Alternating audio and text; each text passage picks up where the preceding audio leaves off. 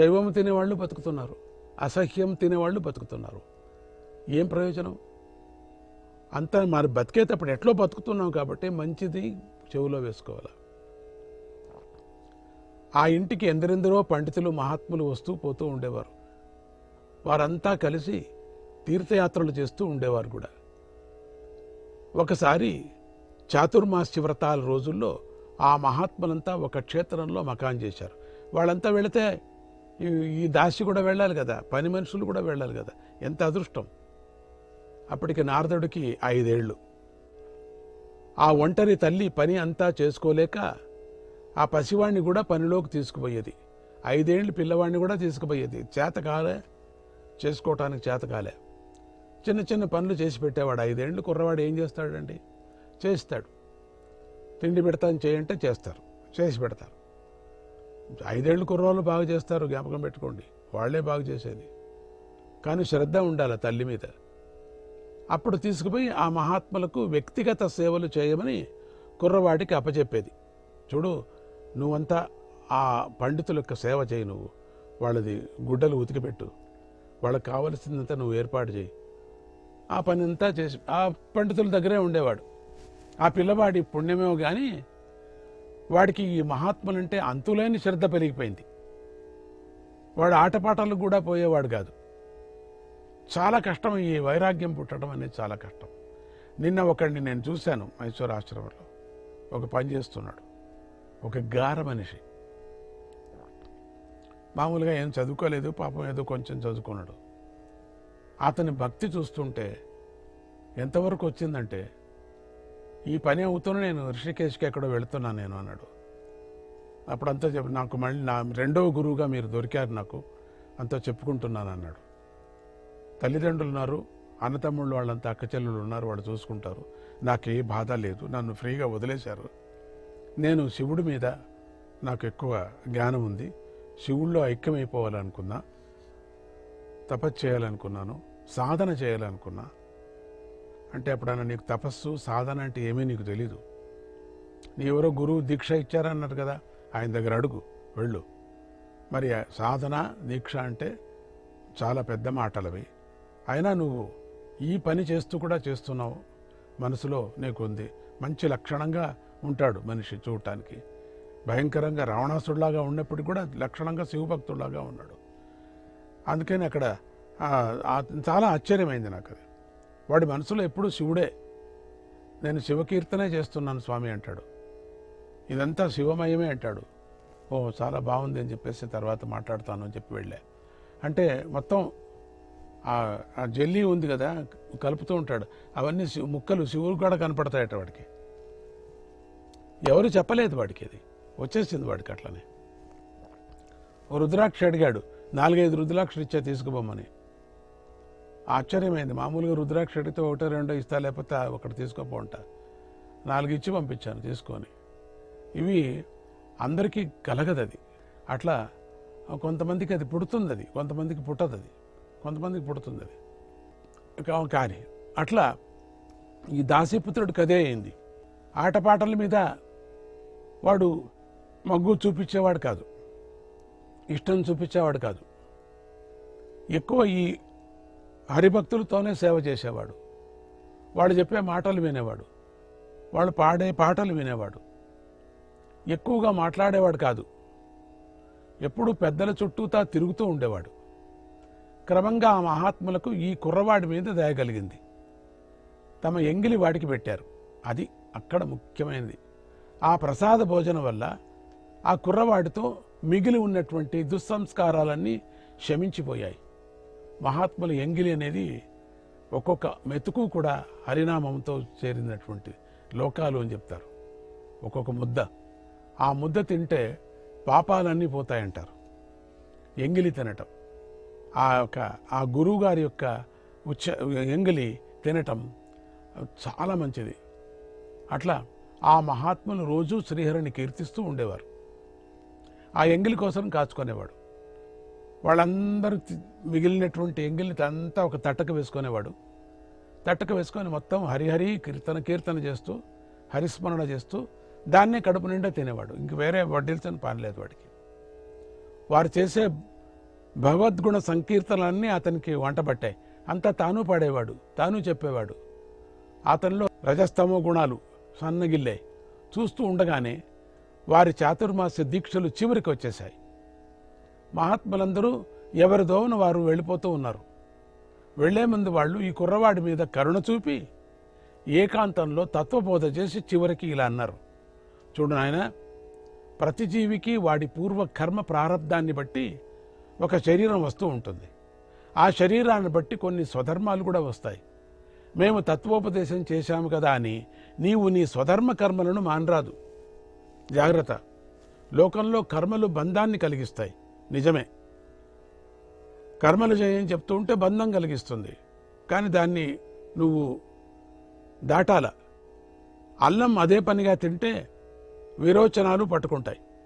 కానీ అదే అల్లాన్ని ఇతర ఔషధులతో కలిపి లేఖంగా చేసి తింటే శరీరానికి పుష్టి ఇస్తుంది చూడండి. అదే అల్లము. అట్లా తింటే విరోచనాలు. అదే అల్లం వేరే విధంగా తింటే దాన్ని పుష్టి ఇస్తుంది. అంటే వేరే ఔషధులతో కలిపి తినాల. అలాగే మానవుడు తన స్వధర్మ కర్మలను భగవద్భక్తిలో మేళవించి అది భగవదార్పణ ఆచరిస్తే అవి వాడికి మోక్షాన్ని ఇస్తాయి. ఇదే రహస్యం. భగవదార్పణ చేయకోకుండా నేనే చేస్తున్నాను. నేనే ఈ ఇంటికి యజమాని. నేనే కష్టపడితేనే మీరు తింటారు అనేది రాకూడదు. కర్మలను సకామంగా చేస్తే బంధాలను కలిగిస్తాయి. అంటే స్వతంత్రంగా నే నాది అని.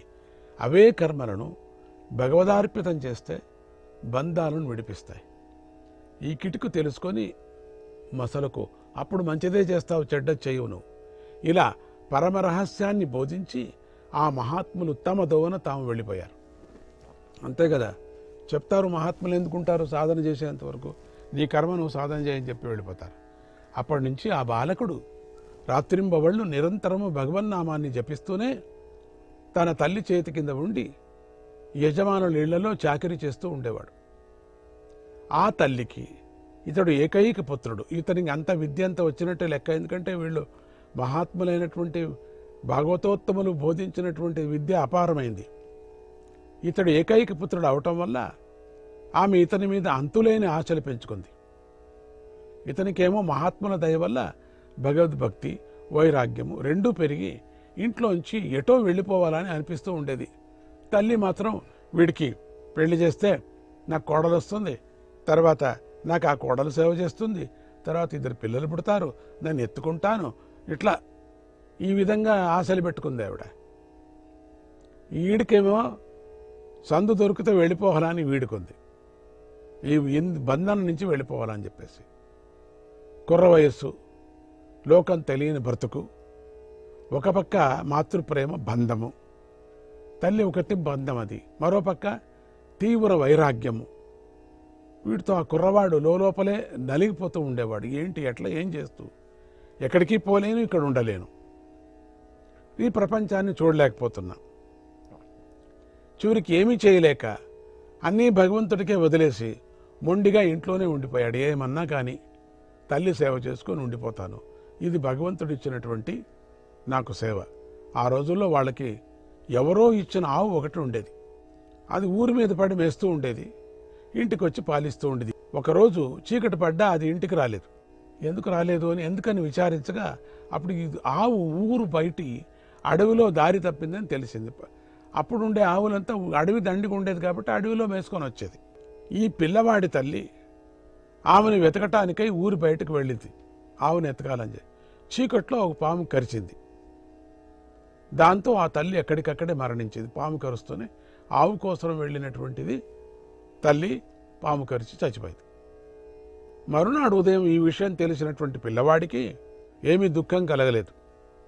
అప్పటికే వాడికి భగవంతుడి యొక్క తత్వం బాగా తెలిసింది. కాబట్టి దుఃఖపడలేదు. అతడు భగవంతుడు నాపై కరుణతో నాకున్న ఏకైక లౌకిక బంధాన్ని కూడా ఇలా తొలగించాడు. అని శ్రీహరికి కృతజ్ఞులు చెప్పుకున్నాడు. సద్య బంధం పోయింది నాకు. ఇక ఆ పిల్లవాడిని పిలిచేవారు పలకరించేవారు లేరు. కనుక అతడు అటు నుంచి అటే ఉత్తర దిక్కు వైపుకు సాగిపోయాడు ఇక. ఎవరు మాటలు పట్టించుకో పట్టణాలు పర్వతాలు నదులు దాటుకుంటూ చాలా దూరం వెళ్ళిపోయాడు. శోష వస్తుంది. శరీరం తూలిపోతుంది. ఇక నడవలేనని అనిపించింది. ఆ దశలో ఒక చెట్టు కింద కూర్చొని మహాత్ములు ఉపదేశించిన భగవతత్వాన్ని నెమర వేసుకుంటూ భక్తి పారవస్యంతో ఆనంద భాష్మాలు రాలుస్తూ తనను తానే మరిచిపోయాడు. ఆ ఆకలిలో ఆ ఆశ ఆయాసంలో ఉండినప్పటికీ కూడా పరమాత్ముడు చెప్పినటువంటి బోధలు మహాత్ములు చెప్పిన బోధలంతా పరమాత్ముడి గురించి చెప్పిందంతా అనుకుంటూ ఏడ్చుకుంటూ అక్కడే ఉండిపోయాడు. అలా ఎంతసేపు జరిగిందో తెలీదు. మళ్ళీ దేహస్మృతి వచ్చేసరికి తనకి ఇంతవరకు దర్శనమిచ్చిన భగవంతుడి చైతన్య కళ మటుమాయమైపోయిపోయింది. పరమాత్ముడి చైతన్య ఒక దర్శనమిచ్చాడు. ఇచ్చి మాయమైపోయాడు దాంతో మనస్సు ఉద్విగ్నమై మళ్ళీ ఆ భగవద్ దర్శనం చేయాలనే పట్టుదల పెరిగింది. ఏమన్నా కానీ మళ్ళీ నేను దాన్ని చూడాలా అని చెప్పేసి. ఇంద్రియాలను మనస్సును ఏకాగ్రం చేసి విశ్వప్రయత్నం చేశాడు. అయినా ఆ దర్శనం మళ్ళీ లభించలేదు. ఒక పక్క విసుగు మరోపక్క పట్టుదల. రెండు పెచ్చు పెరిగి ఆ కుర్రవాడు తన ఇంద్రియాలను నాడులను మనోబలంతో పట్టి పైకి గుంజసాగాడు. ఏమన్నా కానీ అని చెప్పేసి. ఇక శరీరంలోని నాడులే తెగిపోయానని అనిపించే సమయంలో ఆ అడవిలోంచి ఒక గంభీరమైన స్వరం ఇలా ప్రతిధ్వనించింది. ఇంకేం తాను యోగంతో పైకి వెళ్ళిపోతున్నాడు నరాలంతా బిగించి అనే సమయంలో ఒక ధ్వని వినిపించింది. ఒక ఆకాశవాణి. నాయన యోగంలో నువ్వు పైకి వెళ్ళ ఆగు నీ ఈ శరీరము నా దర్శనానికి అనుకూలమైంది కాదు. అర్థమైందా? శరీరము దర్శనానికి అనుకూలం కాదు ఇది అయినా సరే నీ భక్తికి మెచ్చి ఒక్కసారి నా రూపం నీకు చూపాను. దానివల్ల నా మీద భక్తిని మరింత పెంచుకో. ఈ శరీరం దానంతటదే రాలిపోయేదాకా ఆగు. ఈ శరీరంతో పాటు నీ సంస్కారంలో మిగిలి ఉన్నటువంటి దోషాలు కూడా నశించిపోతాయి. ఆ తర్వాత నీవు సాక్షాత్తుగా నా పరిచారంలో ఒకడి అవుతావు. ప్రళయకాలంలో కూడా చలించని భక్తి తరగని జ్ఞానము నీకు లభిస్తాయి అని ఆకాశవాణి వినిపించింది. హాయ్ ఇప్పుడే వెళ్ళొద్దు నువ్వు. కానీ మళ్ళీ నీకు దర్శనం ఇవ్వాలంటే ఈ శరీరం పనికిరాదు. నువ్వు వేరే శరీరం తీసుకోవాలా? అంతవరకు అదంతకదే రాలిపోతుంది ఈ శరీరం ఉండదు. రాలిపోయేంతవరకు నువ్వు ఉండాలా? అప్పుడు నీకు మోక్షప్రాప్తి అంతా అవుతుంది. అని కర్మను ఆచరించు. భగవంతుడి వాక్కులు విని బాలుడు గుర్తుపట్టి వినయంతో సాష్టాంగ వందనం చేసి స్వామి మహాప్రసాదం అన్నాడు. అప్పటి నుంచి ఏ కోరికలు లేకుండా నిరంతరము హరినామ తత్పరుడై అడవులలో స్వేచ్ఛగా సంచరించాడు. చాలా ఏళ్ళు గడిచిపోయాయి. పక్కలో సింహాలు ఏనుగులు వస్తున్నా ఏమీ చేయలేవాణ్ణి. ఒకనాడు ఆ శరీరం తనంట తానే రాలిపోయింది అది రాలిపోకుంటుందా? వెళ్ళిపోయింది. ఇది మూడవ జన్మ. ఇక నాలుగో జన్మ చతుర్థ జన్మ విచారం. ఆ బాలుడే జన్మాంతరంలో దేవర్షి నారదుడుగా జన్మించాడు. ఇది నారదుడి నాలుగవ జన్మ. దాన్ని కూడా చెప్పుకుంటే కానీ నారద కథ పూర్తి కాదు.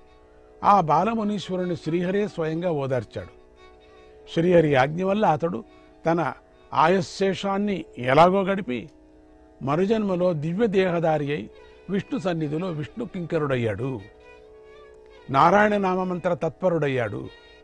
జ్ఞాన సముద్రుడయ్యాడు నాదోపాసకుడయ్యాడు. ఆ మునీంద్రుడు కల్పాంతకాలం వరకు జీవించి కల్పాంత సమయంలో మహాప్రళయంలో శ్రీహరిలో లీనమై మళ్ళీ ఆపై కల్పంలో బ్రహ్మమానసపుత్రుడై జన్మించాడు. బ్రహ్మచర్య నిష్ఠాగరిష్ఠుడైన ఈ పుత్రుడికి బ్రహ్మదేవుడు ఒక వీణను ప్రసాదించి నువ్వు నిరంతరము హరికీర్తన చేస్తూ ఉండు అని బోధించాడు. నారదుడు సరస్వతీదేవి దగ్గర సంగీతాభ్యాసం చేశాడు. ఆ తల్లి మహతి అనే వీణ ఇచ్చింది. చదువుల తల్లి సరస్వతి మామది మల్లి మనస్వతి. చదువుల తల్లి సరస్వతి మామది మల్లి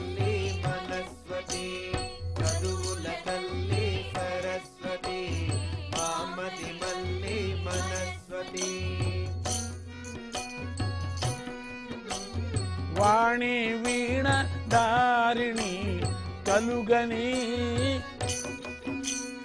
కలుగని కృ-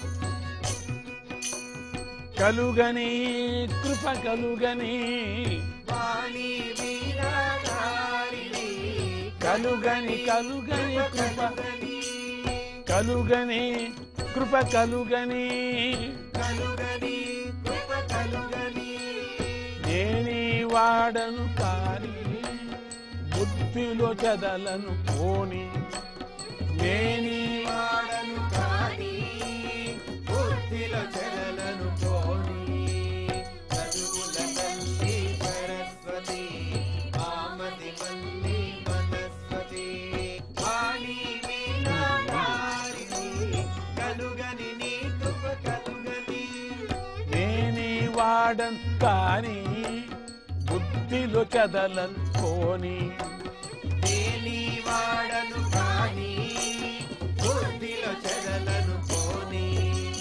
చదువుల తల్లి సరస్వతి మామది మల్లి వనస్పతి బ్రహ్మణి చారిణి మానిని మాలా పుస్తక శోభిని బ్రహ్మణి చారిణి వాణిని మాలా పుస్తక శోభిని బ్రహ్మణి చారిణి మానిని మాలా పుస్తక శోభిని ब्रह्मणि चारिणि मानिनि माला पुस्तक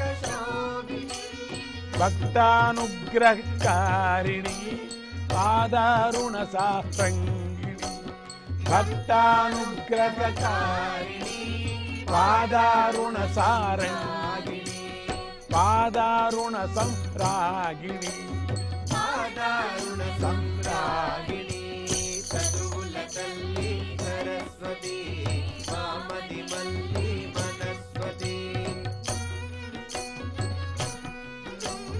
భారతి బామతి సన్మతి భారతి బామతి సన్మతి నలుదిక్కుల నీ కీర్తి.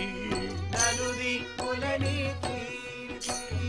ఇలలో నీవే శాశ్వతి సచిదానందే సరస్వతి.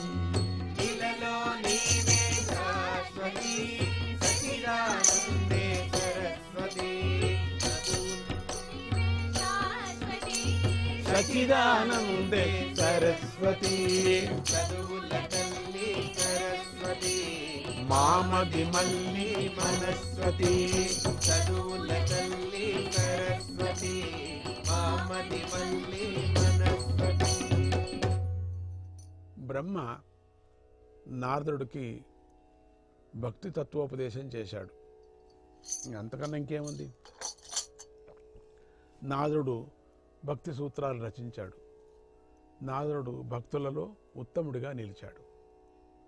ఇక నారదుడి యొక్క గర్వభంగం. కొంతకాలానికి నారదుడికి తీవ్రమైన తపస్సు చేయాలనిపించింది.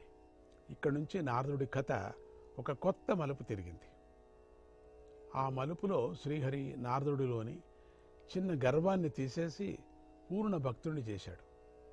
ఒకనాడు నారదుడు శివుడు మన్మథుడిని దహించిన స్థలంలో తపస్సు చేయసాగాడు. ఆ తపస్సుకు ఇంద్రుడు భయపడి ఎలాగైనా సరే తపోభంగం చేసి చేసిరండి అని అప్సరసలను పంపాడు. అప్సరసలు ఓడిపోయి తిరిగి వెళ్ళిపోయారు. ఓడిపోయారు అంతా కూడా. ఇక్కడ మన్మథుడి వికారాలు పనిచేయవు అని ఆ స్థలంలో శివుడి శాపం ఉన్నందువల్ల నారదుడికి తపోభంగం కాలేదు. కానీ ఆ వివరం తెలియక నారదుడు తన తపశ్శక్తి వల్ల తానే కాముణ్ణి జయించానని గర్వించాడు. అక్కడ చేశాడు కాబట్టి తపస్సు. తాను కాముణ్ణి జయి జయించాననుకున్నాడు. పొంగిపోయాడు. నేను మన్మత్తుడిని జయించానని శివుడి దగ్గర బ్రహ్మ దగ్గర కూడా గొప్పలు చెప్పుకున్నాడు. కనిపించిన వారందరికీ చెప్పుకున్నాడు. ఇంకదే పని. హరినామ కీర్తనతో పాటు ఇదొకటి చెప్పాడు. నేను కామము జయించాను. నేను కామం జయించాను. నారాయణ నారాయణ హరే కృష్ణ. నేను కామం జయించాను. నారాయణ నారాయణ హరే కృష్ణ అనేవాడు. దీన్ని వదలడు కదా. నారాయణ మంత్రం వదలడు. ఇదొకటి చేర్చుకున్నాడు కొత్తగా ఈ మంత్రం. మహాత్ములంతా మాట్లాడుకున్నాడు. ఇది నారదుడు ఏంటో కొత్త మంత్రం చేర్చాడు. కామం జయించాను కామం జయించాను. విష్ణు ఒక్కడే మిగిలి ఉన్నాడని అందరికీ చెప్పుకొచ్చాడు. ఆయనకు కూడా తన విజయం సంగతి చెప్పుకోవాలని వైకుంఠానికి వెళ్ళాడు. దేవా నేను మన్మథుడిని అని నవ్వాడు. ఊరికి చెప్పచ్చు కదా నవ్వాడు. ఆయన విష్ణువు కూడా ఆయనే మహాకిలాడి కదా.